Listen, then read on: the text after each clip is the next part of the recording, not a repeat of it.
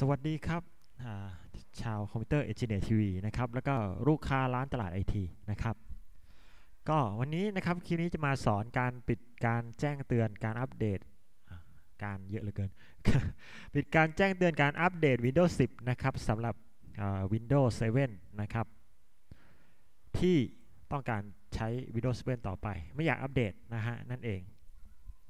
เพราะว่าผู้ใช้บางท่านนะครับใช้ netbook netbook นะฮะ ก็ถ้าเป็นอัปเดตเป็น Windows 10 มันอาจจะค้างนะครับ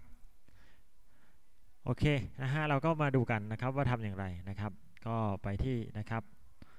ปุ่ม start นะฮะ start นะครับผมเลือกที่ เลือกที่ control panel นะฮะ อ่ามันจะเด้งหน้า control panel ขึ้นมานะครับ โดยปกตินะครับท่านก็จะอยู่หน้าที่เป็น category นะครับหน้านี้นะครับ ให้ทำการนะครับเลือก category ใหม่นะครับเป็น last icon เห็นไหมครับเห็นไหมครับก็จะมีหน้านี้ขึ้นมานะครับโอเค จากนั้นไปที่โปรแกรม and feature นะฮะโปรแกรม and feature นะครับโอเคแหละแล้วก็มันจะมีหน้า หน้าต่างขึ้นมานะครับว่าเราได้ install โปรแกรมอะไรบ้างนะครับ ไปที่ view install update นะฮะ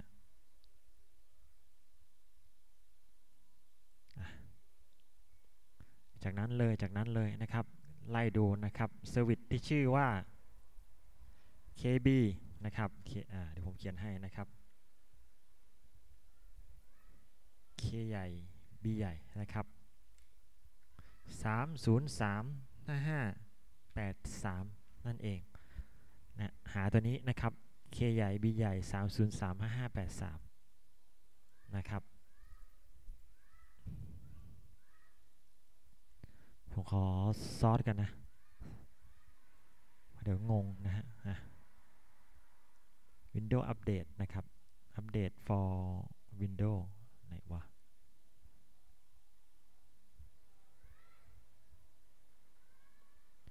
Security ไม่ใช่อัปเดต Windows นะครับอัปเดต for Microsoft Windows นะฮะ303 583 303เนี่ยเจอละนะครับสวิตช์ชื่ออัปเดต for Microsoft Windows นะครับ KB 303 5583 นะครับ คลิกตรงนี้นะครับผมแล้วกด uninstall นะฮะ เลือก yes นะครับ